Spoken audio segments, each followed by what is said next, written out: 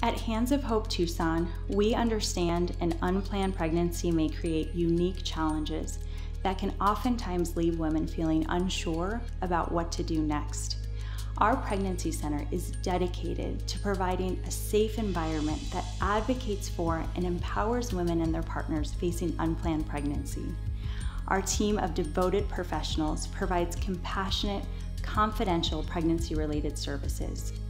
Those free services include pregnancy testing, ultrasounds, nurse consultations, education about pregnancy options, community and medical referrals, emotional and spiritual support during and after pregnancy, as well as support for those struggling with an abortion decision.